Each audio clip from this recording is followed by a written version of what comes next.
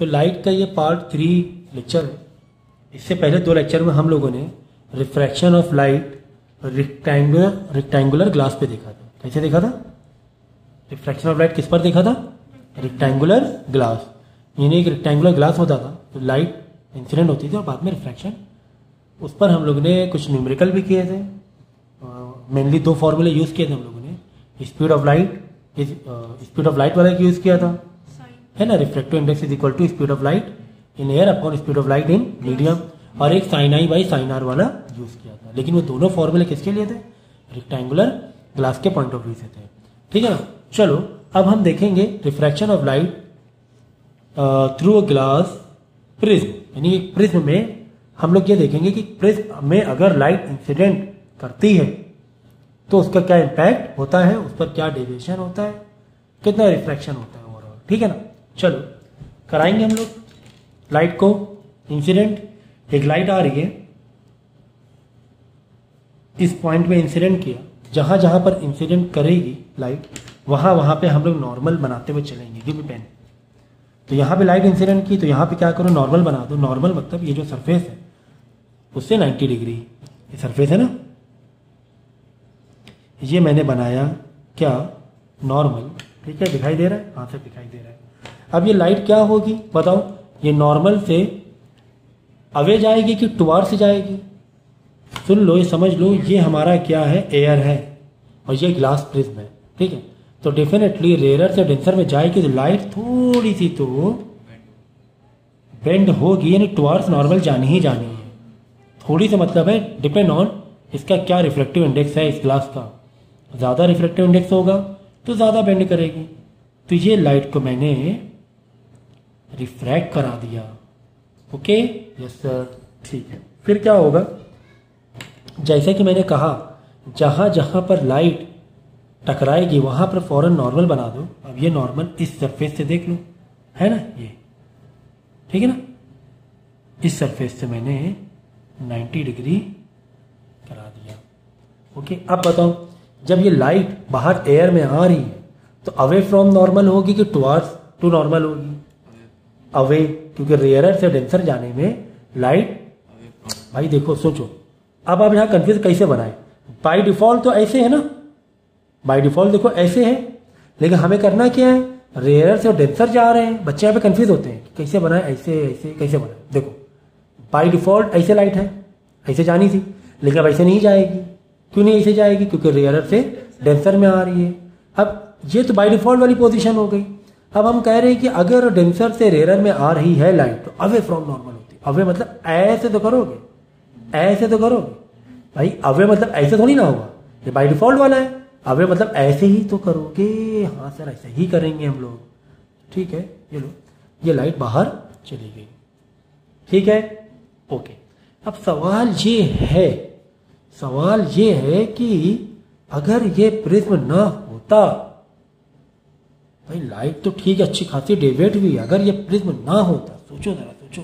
अगर ये प्रिज्म ना होता तो लाइट ऐसे जा रही होती अपने मस्ती में। लेकिन इस प्रिज्म की वजह से लाइट ऐसे ना जाकर ऐसे आ गई। ओहो हो कितना ज़बरदस्त तरीके से इसका डेविएशन हुआ है। ये देखो, कितना ज़बरदस्त डेविएशन हुआ है। कहा लाइट ऐसे जा रही थी और ऐसे आना पड़ गया उसे। बीच में एक बस तुमने कलाकारी कर दी थी। क्या कलाकारी कर दी थी? तुमने प्रिज्म रख दिया था ग्लास का। ठीक है ना? तो ठीक है, देखेंगे। अब तुम उस पर एक्सपेरिमेंट कर रहे हो कि यार, चलो हमने ये पर्टिकुलर रिफ्लेक्टिव इंडेक्स का ग्लास रखा तो देखते हैं कि लाइट कितनी बेंड हुई है। तो कितनी बेंड हुई इसका प्रोसेस देखो हम कैसे करेंगे। पेंसिल है क्या?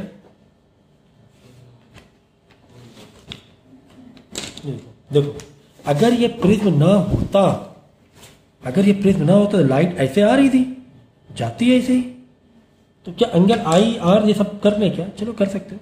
यहाँ पे आई एंगल है, यहाँ पर आर एंगल है, यहाँ पर इमरजेंट एंगल बोल दें क्या? चलो आई टू भी बोल सकते हैं। ठीक है, अंदर आई आई वन ऐसे कह सकते हो। आई टू या आई और ई भी कह सकते हो, जैसे आपको कंफर्ट लगे।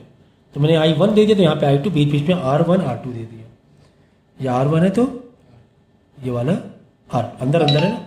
ठीक है। चलो, हमने क्या किया? आर ये प्रिज्म ना होता तो लाइट हमारी ऐसे जा रही होती। हाँ सर, ऐसे जा रही होती। हाँ सर, ऐसे जा रही होती लाइट। लेकिन प्रिज्म होने की वजह लाइट ऐसे चली गई। कितनी बेंड हो गई देखो। अब इसको पीछे स्टैंड करो। ये है कहानी। लाइट ऐसे जा रही थी, लेकिन प्रिज्म होने की वजह से लाइट इतनी बेंड हो गई। देखो, इतनी बेंड हो गई। है ना? यही तो मिला सिद्धांत। इस लाइन की सिद्धांत देखो, सिद्धांत मतलब एक स्ट्रेट पाथ देखो। कितनी बेंड हो गई इतनी बेंड हो गई ये ये वाला एंगल कभी बच्चे गलती कर, ये नहीं। ऐसे नहीं करना है। ये वाला ना ले लेना। यहाँ लाइट ऐसे जा रही थी और इतनी मुड़ गई, देखो। ऐसे जा रही थी, इतनी मुड़ गई। तो इसे बोलते हैं एंगल ऑफ़ डेविएशन इसे क्या बोलते हैं? एंगल ऑफ़ डेविएशन ठीक है? तो एंगल ऑफ़ डेविएशन का हमें एक फॉर्मूला दिया गया है। चलो जी, ठीक है, ये तो ऐसा आप मेजर करके बता सकते हो, लेकिन मैथमेटिक्स या फिजिक्स में जब इसका कैलकुलेशन या जो फॉर्मूला है वो क्या है? बता देता हूँ angle of deviation is equal to I one plus I two minus R one plus R two याद रहेगा? हाँ सर, याद रहेगा। या फिर आप ऐसे भी कर सकते हो। Angle of deviation is equal to I one plus I two minus A sir minus A क्यों? क्योंकि क्योंकि जो ए होता है what is A sir A is angle of prism ये वाला, वो भी कौन वाला? देख लो। अगर यहाँ पे लाइट इस तरह जा रही ना तो यहाँ ये वाला ऊपर वाला रहेगा इस तरह वाला। ठीक है, आगे ट्वेल्थ में काफ़ी और डीप में है, इसको प्रूविंग भी है आपको कि फॉर्मूला कैसे बना, लेकिन टेंथ में ये नहीं है आपको तो उससे मैं नहीं बता रहा हूँ। ठीक है, लेकिन ट्वेल्थ में ये फॉर्मूला कैसे आया, उसका प्रूविंग भी है।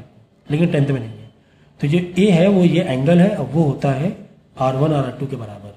ये प्रूविंग कर सकते हो लेकिन अभी आपको है नहीं इसलिए मैं नहीं बता रहा तो इसकी जगह हम ए डाल देंगे। ठीक है?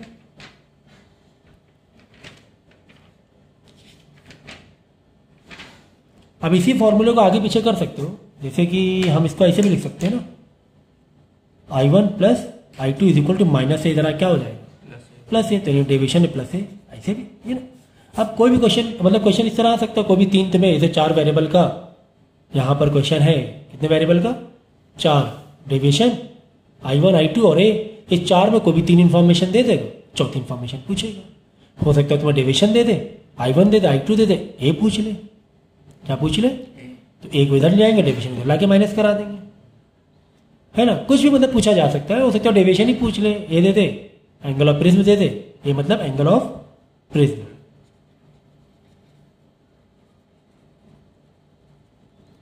ठीक है?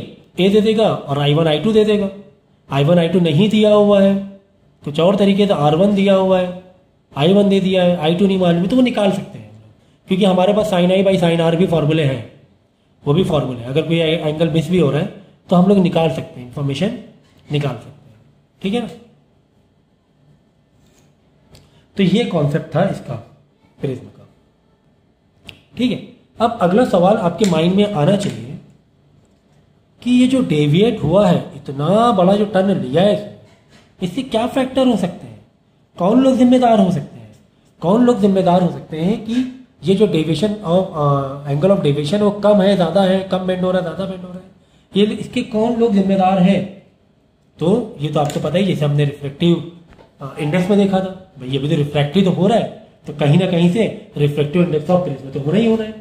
कहीं ना कहीं से रिफ्लेक्टिव इंडेक्स ऑफ़ प्रिज्म तो होना ही होना है। आर आई लिख दू मैं?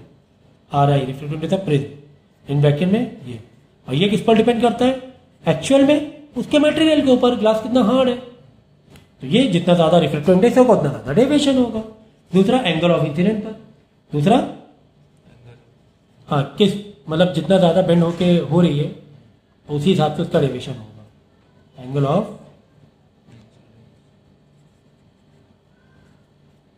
आई तीसरा हम क्या कह सकते हैं? एंगल ऑफ़ प्रिज्म हाँ एंगल ऑफ़ प्रिज्म भी मैटर कर रहा है। देख लो ना मैटर कर ही रहा है ना। इस पूरे डेविएशन में ए का तो काम आ ही रहा है। अब खुद सोचो कि ए अगर हम, अगर ए ज़्यादा होता ए अगर ज़्यादा होता तो एंगल ऑफ़ डेविएशन क्या होता, बोलो? अगर ए ज़्यादा कर कम हो जाएगा, क्योंकि माइनस ए है ना। क्या है इधर? माइनस है, भाई ये ओवरऑल वैल्यू से बड़ा ए माइनस अगर हो जाएगा, बहुत बड़ी वैल्यू है तो आंसर कम नहीं हो जाएगा। और ये बहुत छोटा सा है। इस पूरे वैल्यू में ए को छोटा सा ए माइनस कर दो तो डेविएशन बहुत ज़्यादा फ़र्क नहीं आएगा, लेकिन एक बड़ी वैल्यू माइनस करा दो, इस पूरे आई वन आई टू से। यानी ए बड़ा होगा तो डिविशन छोटा होगा। एंगल ऑफ़ डिविशन ठीक है तो ये एंगल ऑफ़ इंसिडेंट हो गया। एंगल ऑफ़ प्रिज्म, इसका मतलब ये एंगल ऑफ़ प्रिज्म इंपैक्ट डाल रहा है है ना? एंगल ऑफ़ प्रिज्म फैक्टर है, जिम्मेदार है। फिर बाद में कलर और वेवलेंथ भी होता है, क्योंकि अलग अलग लाइट की स्पीड अलग अलग होती है वेवलेंथ के ऊपर भी डिपेंड करता है वो। कलर हो गया या फिर वेव लेंथ हो गया। ठीक है कलर ले लो कलर मतलब वेवलेंथ अलग अलग लाइट के कलर में अलग अलग वेवलेंथ होती है। ठीक है ना? ये तो अभी आगे पता चल जाएगा। ठीक है? आगे जो चैप्टर है, उसमें आपको स्कैटरिंग ऑफ़ लाइट है। वेवलेंथ तो से रिलेटेड काफ़ी सारी चीज़ें हैं। तो ठीक है, अब हम लोग क्या कर सकते हैं? अच्छा हाँ एक और चीज़ देख लो। तो एक आपको ग्राफ दिया हुआ है angle of incident and angle of deviation का। ये ग्राफ याद कर लेना। इसका ग्राफ क्या होता है? पहले डिक्रीज होता है। पहले क्या होता है? डिक्रीज होता है, फिर बाद में इंक्रीज होता है एंगल ऑफ़ डेविएशन ठीक है, नहीं इंसिडेंट के साथ में एंगल ऑफ़ इंसिडेंट बढ़ाते जाओगे। एंगल ऑफ़ इंसिडेंट बढ़ाते जाओगे, पहले डेविएशन कम होगा, लेकिन बाद में बढ़ता गया। ठीक है तो ये ग्राफ वैसे ये भी ग्राफ नहीं आता है लेकिन फिर भी आपको मैं बता दिया। ठीक है, यहाँ पे कुछ एग्ज़ाम्पल है। शायद ए पूछा गया है। देखो एंगल ऑफ़ डेविएशन तुम्हें दिया हुआ है। इधर सेवेंटी दिया हुआ है। ठीक है ना आई वन दिया हुआ है, या आई टू है। फॉर्मूले में रख के निकाल सकते हो आप इसे। क्या? ए भी निकाल सकते हो इसका। तो अलग अलग कुछ एग्ज़ाम्पल दिए हैं इसमें फिर भी हम लोग क्या करेंगे? कुछ क्वेश्चन करेंगे उससे। जैसे ये इस टाइप के एग्ज़ाम में आता है कंप्लीट द डायग्राम आता है। कंप्लीट दी डायग्राम ठीक है ना? अब इसका डायग्राम कैसे कंप्लीट करोगे आप?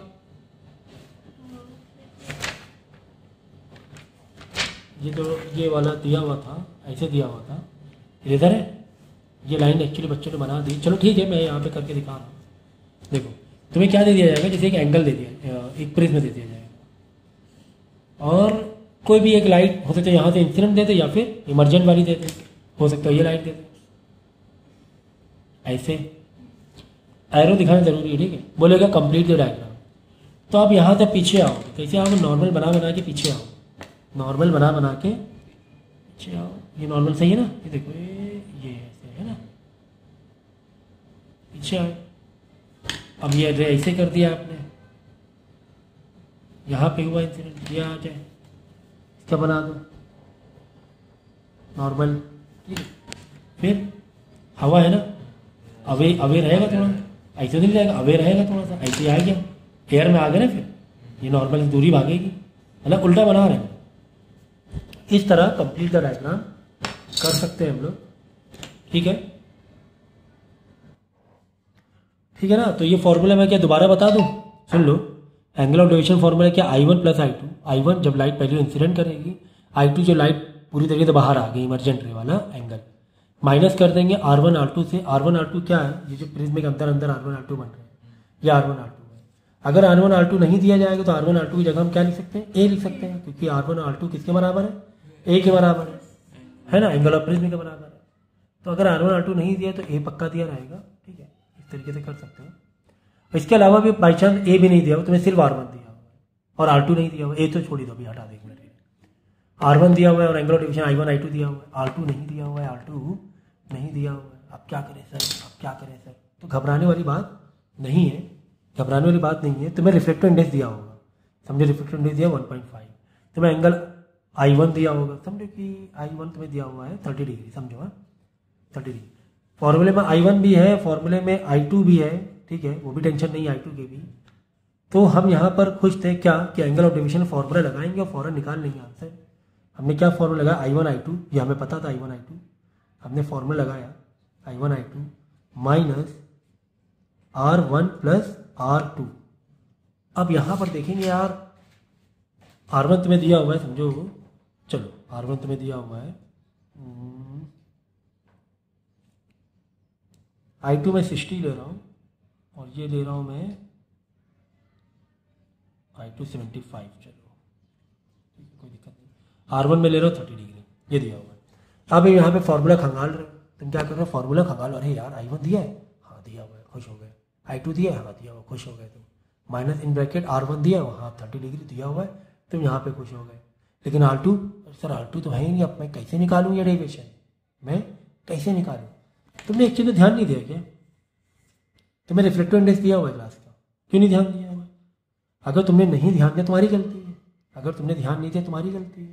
तुम्हें ध्यान देना चाहिए कि तुम्हें ये 1.5 दे क्यों दिया हुआ है रिफ्लेक्टिव इंडेक्स चलो अच्छा देखते हैं। क्या रिफ्लेक्टिव इंडेक्स से एंगल एंगल से कोई रिलेशन है? क्या? हाँ है। Reflective index is equal to what sine I by sine R reflective index तुम्हें दिया हुआ है। कितना? 1.5 साइन आई तुम्हें दिया हुआ है। कितना? साइन आई सिक्सटी डिग्री मतलब रूट थ्री बाई टू अरे भाई, बहुत समझाना पड़ रहा है। देखो 1.5 point five is equal to sine I कितना है? सिक्सटी डिग्री मतलब रूट थ्री बाई टू और तुम्हें साइन आर वही तो ढूंढ रहे हैं। सर, वही तो ढूंढ रहे हैं। तो साइन आर इधर लाना वन पॉइंट फाइव इधर लाना।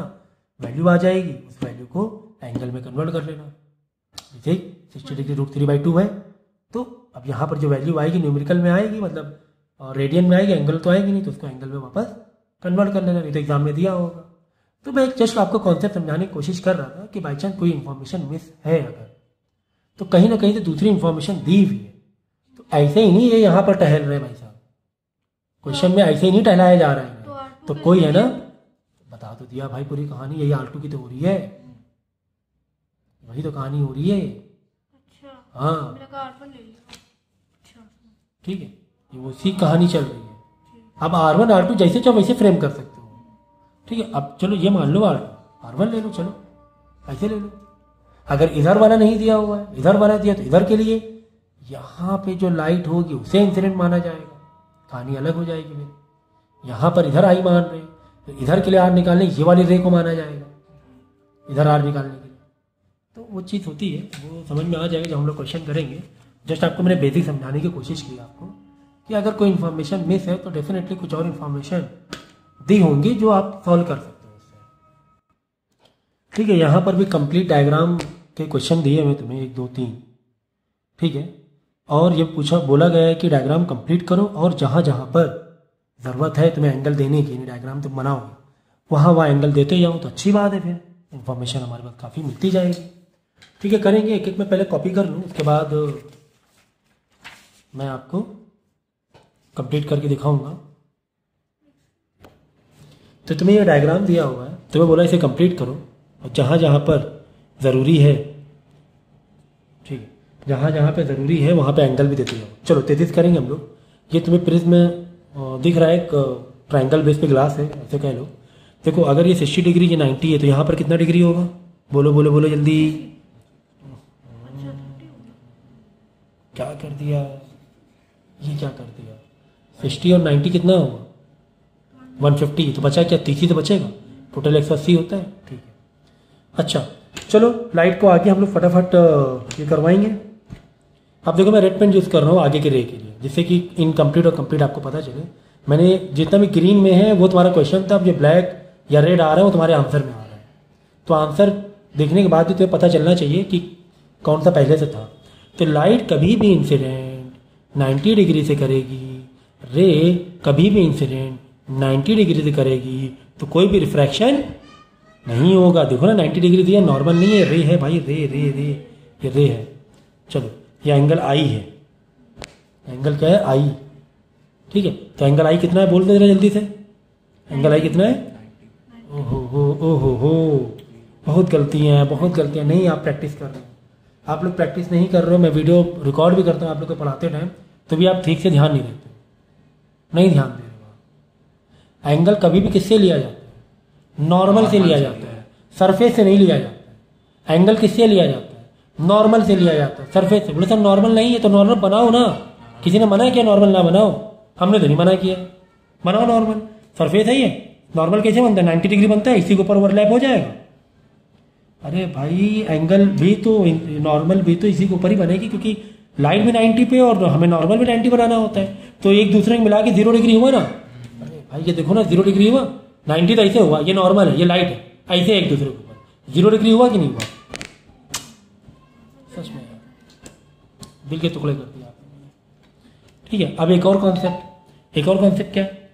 कि लाइट कभी भी, यानी कि incident of angle zero degree है या फिर या फिर या फिर, देख एंगल आई ज़ीरो डिग्री और और लाइट एंड सरफेस का एंगल लाइट या रे एंड सरफेस जहाँ पे टकरा रही लाइट इनके बीच का एंगल क्या है? 90 डिग्री ऐसे भी कह सकते हो. लेकिन इंसिडेंस की बात करोगे ज़ीरो डिग्री है. ठीक है तो लाइट और ये सरफेस 90 डिग्री है. तो लाइट कैसे चली जाएगी?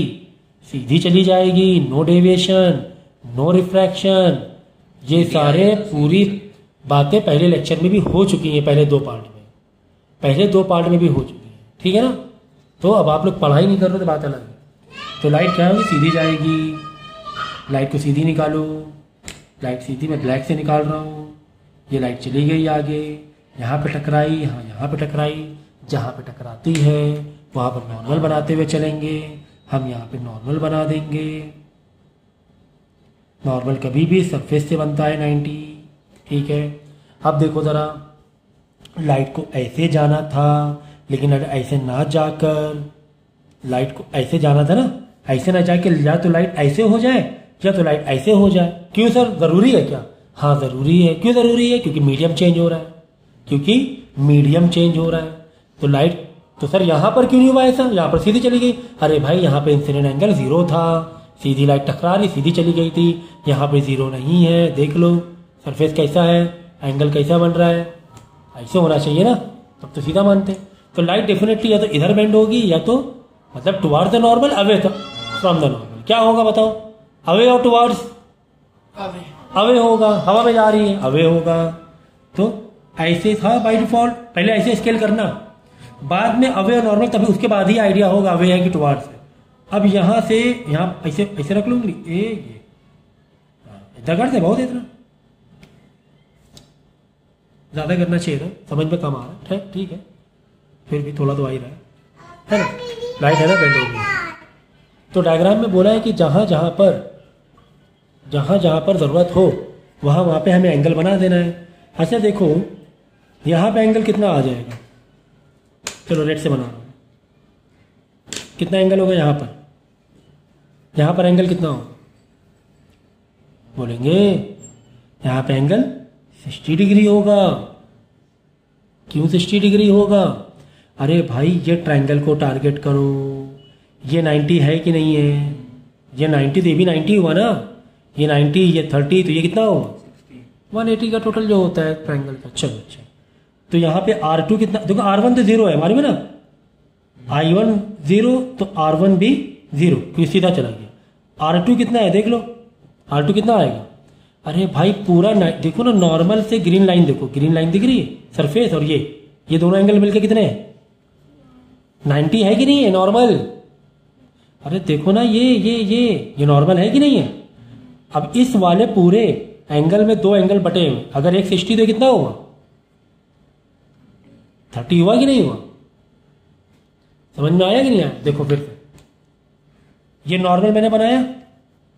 और ये नॉर्मल मतलब किससे बनता है नॉर्मल सरफेस से तो बनता है। 90 है। अब यहाँ पर आ जाओ इस पूरे वाले सेक्शन में।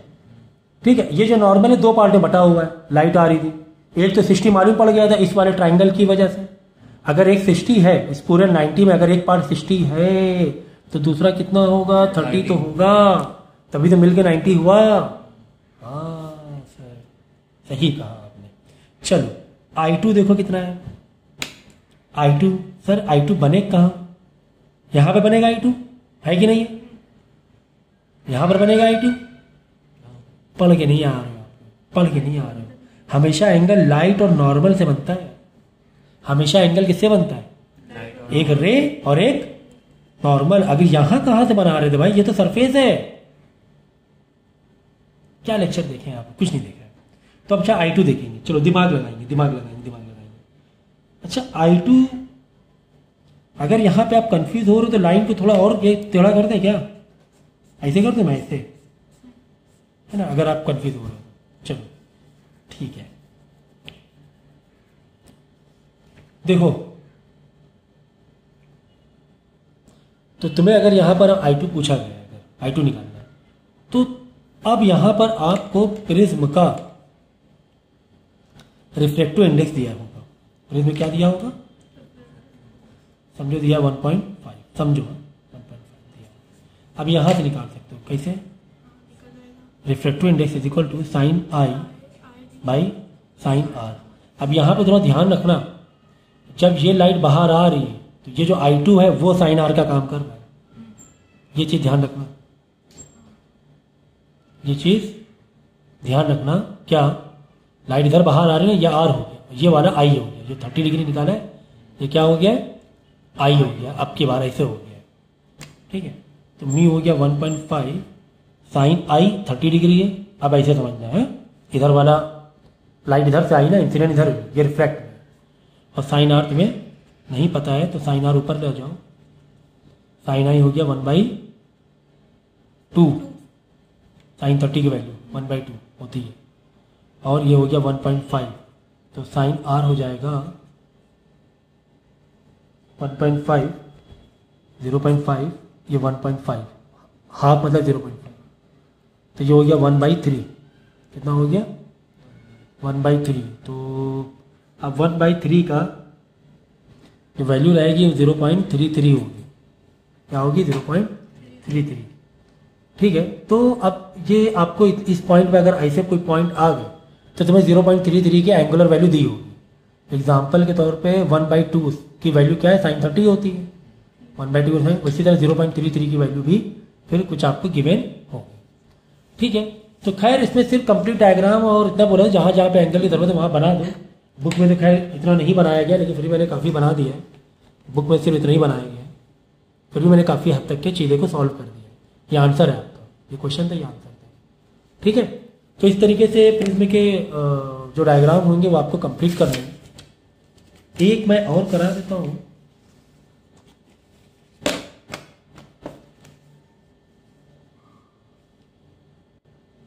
ठीक अगला डायग्राम ये है और हमें बोला गया है कि डायग्राम को कंप्लीट करना है। ठीक है? ये लाइट की रे है। एरो बना हुआ मतलब लाइट की रे है नॉर्मल ना समझना इसे।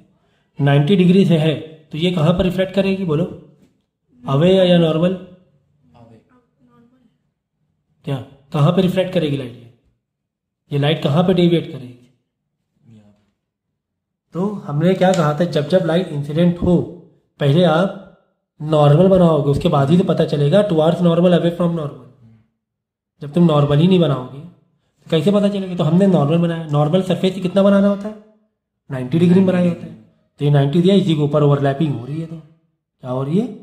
ओवरलैप हो रहा है, ये बना दिया नॉर्मल हमने। ये नॉर्मल बना दिया। अब ये लाइट सीधे चली जाएगी। एंगल आई ज़ीरो हो गया। नॉर्मल पे नॉर्मल मतलब लाइट जो है, इसके ऊपर ही नॉर्मल हो गया। तो एंगल आई क्या है? ज़ीरो है। जब एंगल आई ज़ीरो हो जाए, या फिर इंसिडेंट वाली लाइट इस सरफेस से 90 डिग्री हो जाए। दोनों लैंग्वेज समझ लो। सरफेस से इंसिडेंट की लाइट ज़ीरो नाइन्टी डिग्री या फिर नॉर्मल से एंगल ऑफ़ इंसिडेंट ज़ीरो तो क्या हो जाएगा? सीधी लाइट चली जाएगी। ये अभी भी सीखा है हम लोगों ने। अब मैं रेड से आगे के बना रहा हूँ। ये मैंने कंटिन्यू किया। लाइट सीधी चली गई। यहाँ पे टकरा गई। हाँ यहाँ पे टकरा गई चलो, अच्छी बात है। जहाँ पे टकराती है, वहाँ पे नॉर्मल बनाते हैं, जैसे कि पता है हम लोगों को। हमने बनाया नॉर्मल नॉर्मल बना दिया। अब नॉर्मल से देखना होता है कि लाइट टुवार्ड्स है कि अवे है। अब बताओ। आगे ray towards to normal towards normal रहेगी कि अवे फ्रॉम नॉर्मल बोलो। ऐसे करेंगे कि ऐसे करेंगे? अवे अरे भाई डेंसर से रेरर में जा रहे हो। तो अवे करो। ऐसे जाएगी। थोड़ा और क्रॉस कर दो समझाने के लिए। लाइट ऐसे चली जाएगी। है कि नहीं? बोला गया जहाँ जहाँ पर तुम एंगल दे सकते हो तुम एंगल दे दो। ठीक है यार हमें अगर पता चल पा रहा है एंगल तो दे देंगे। देखो ये 90 है तो ये भी कितना होगा? 90 होगा। देखो ना ये स्ट्रेट लाइन पे एक साइड 90 दूसरे 90 होगा 180 होता है ना टोटल एक स्ट्रेट लाइन एंगल है यहाँ पे अगर 30 है तो यहाँ पे कितना होगा? 120 होगा। एक स्ट्रेट लाइन है यहाँ पे अगर 90 है तो यहाँ पर भी 90 होगा। यहाँ तीस है तो यहाँ एक सौ पचास होगा एक सौ अस्सी। टोटल क्या मानना होता है? एक सौ अस्सी। एक सौ अस्सी एक स्ट्रेट लाइन है। अगर यहाँ पे अस्सी है तो यहाँ पे सौ होगा। तो एक तरफ़ नाइन्टी इधर भी नाइन्टी होगा। तो ये तो छोटी छोटी चीज़ें हैं। क्लास सेवन एट में सीखी हुई तो बार बार क्या बताना? अगर ये 90 है अब ये ट्रायंगल को टारगेट करो। ये ट्रायंगल को टारगेट करो। ये 30 है ये 90 है तो ये कितना होगा? 60 होगा। ये पूरा 90 है। ये पूरा अगर 90 है जिसमें 60 उधर हटा दिया तो कितना बचा? 30 बचा। ये पूरा 90 है नॉर्मल से। अगर उधर वाला पार्ट 60 है 60 है तो 30 हो गया। क्या बात है क्या बात है क्या बात है। तो ये काफ़ी हद तक हमने इतने एंगल दिखा दिए। एग्ज़ाम में क्वेश्चन में इतना ही पूछा गया है। और ज़्यादा नहीं पूछा गया। इतना ही पूछा गया कि आप कम, डायग्राम कंप्लीट करो जहाँ जहाँ पर ज़रूरत है। एंगल बताने की बता दो तो मैंने यहाँ पे थर्टी एंगल बता दिया। ठीक है? और ये भी याद रखना कि ए इज़ इक्वल टू क्या होता है? R one plus R two होता है। आर वन ज़ीरो है। और एथ में थर्टी दिया हुआ है। ऐसे ही बता सकते हो। ले ये लो कर लो बात एथ में थर्टी दिया हुआ है। ए का formula R one plus R two होता है। ये मालूम है मेरे। ए के नीचे ए लिखा equal to equal to R one तो ज़ीरो डिग्री सीधी लाइन जा रही है। आर टू थर्टी हमने ऐसे निकाला है, अब हम ऐसे निकाल रहे हैं। ये तो अभी हमने डायग्राम देख देख के निकाला फॉर्मूले से निकाल आर टू हमें नहीं मालूम। कितना हो गया? Zero plus R two R two thirty degree फॉर्मूले से भी निकाल लिया हम लोगों ने। हम लोगों ने फॉर्मूले से भी निकाल लिया। तो ये चीज़ें हैं, कर सकते हैं हम लोग। ठीक है तो प्रिज्म का जो टॉपिक था वो पूरा हुआ यहाँ से। ओके इसके बाद जो नेक्स्ट टॉपिक है, वो हम लोग देखेंगे। इसी रिफ्रैक्शन का एप्लीकेशन बहुत ज़बरदस्त होने वाला टॉपिक और काफ़ी मतलब बहुत इंटरेस्टिंग टॉपिक है। एक्चुअल डेप्थ और एक्चुअल डेप्थ का अच्छा एक चीज़ मुझे बतानी है शायद यहाँ पर चाहिए एक एक बहुत इंपॉर्टेंट चीज़ देख लो। देखो, अब यहाँ पे बीच में आपने ग्लास का प्रिज्म रख दिया, मोटा ग्लास का प्रिज्म रख ठीक है ना ग्लास का अब आप कोई चीज़ यहाँ से देख, कोई ऑब्जेक्ट तुमने यहाँ पे रखा हुआ है तो आप रखा यहाँ रखा है। तुम ये बाजू से देख रहे हो। तुम कैसे देख रहे हो? ये बाजू से देख रहे हो। तो वो तुम्हें यहाँ पर नहीं दिखाई देगा, वो तुम्हें यहाँ पर दिखाई देगा। हाँ यहाँ पर दिखाई देगा। क्यों? क्यों? देखो देखो। हमें पता है कोई भी चीज़ को देखने के लिए, कोई भी चीज़ हमें जो दिखती है, वो कब दिखती है, पता है? जब उस ऑब्जेक्ट पर पड़ती फिर उस हाँ। ऑब्जेक्ट हमारी आँखों में जाती वेरी गुड अगर इसे बुक हमें कैसे क्यों दिख रही है बुक क्यों दिख रही है? इस पर लाइट पड़ रही है और ये लाइट किरणें हमारी आँखों में आ रही है। ये लाइट जबकि नॉन ल्यूमिनियस ऑब्जेक्ट है लेकिन लाइट टकराई इस पर। ल्यूमिनियस ऑब्जेक्ट से हमने कही लाइट सनलाइट है जो भी ये लाइट ये लाइट टकराई। हमें पता है टेढ़े मेढ़े इधर उधर रिफ्लेक्शन होगा स्मूथ ऑब्जेक्ट में रिफ्लेक्शन होगा लेकिन हमारे आँखों में लाइटें जा, रेज जाएँगी। हमारी आँखों में भी रेज जा रही है। हमारी आँखों रेज जा रही तब जाके चीज़ दिख रही है तब जाके चीज़ दिख रही है। आई बात समझ में? तो किसी भी ऑब्जेक्ट से लाइट टकरा के हमारी आँखों में जाएगी तो वो अब देखो। ये ऑब्जेक्ट है हाँ, ये रे निकली यहाँ से निकली। ये टकराई सॉरी ये है ना रिफ्लेक्ट हो गई क्योंकि प्रिज्म लगा हो गई। ठीक है? अब ये हमारी आँखों में गई ये हमारी आँखों में देखो। भाई देखो ये ये डेविएट हुआ वापस फिर मत डेविएट हुआ। अरे यही तो हमने सीखा प्रिज्म में क्या सीखा? ऐसी गई, फिर लाइट इधर, फिर इधर आई। ऐसी क्या? वैसी हुआ? रे गई, फिर दबी फिर अवे फ्रॉम नॉर्मल हुई। इधर लाइट आई तो ऐसे और ऐसे हमने कर दिया। ठीक है, चलो। सवाल ये कि हमारा ऑब्जेक्ट यहाँ क्यों दिख रहा है? इमेज यहाँ क्यों दिख रही है? हमारी आँखें तो सीधा देखती हैं। हमारी आँखें तो टेढ़ा देख लेंगी। तो ये रे ऐसे गई और हमारी आँखें ऐसे देख रही है। यही रे को पीछे स्टैंड कर यही दो रो के पीछे स्टैंड कर दो, जहाँ पे मीट करेंगे, वहाँ पे ऑब्जेक्ट दिखेगा।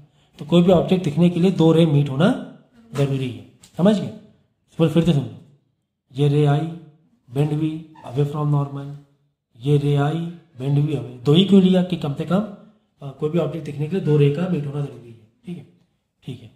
ये हमारी आँखों में पड़ी। लेकिन हमारी आँखें थोड़ा टेढ़ी होकर देखती हैं। हमारी आँखें सीधी देख रही है ना।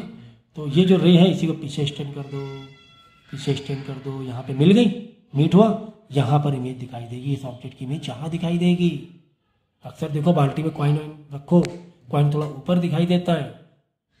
या फिर गिलास से देखो कोई भी गिलास में पानी पियो या पेंसिल डाल लो गिलास में क्या रखो पानी भर के रखो गिलास में और पेंसिल डालो पेंसिल देखो बाहर से सीधी आएगी बाद में थोड़ा इसे दब जाएगी। बेंड हो जाएगी। ठीक है तो यही कॉन्सेप्ट है इसका। ये कॉन्सेप्ट जो मैंने लास्ट में बताया है चार पाँच मिनट ये बहुत इंपॉर्टेंट कॉन्सेप्ट है। ये बच्चे समझ नहीं पाते हैं कि कोई भी चीज़ हमें कैसे देख रही है डायग्राम कैसे बना रहा है। तो याद रखना, जो रे है ना ऑब्जेक्ट से ही टकरा कर आती है, याद रखना।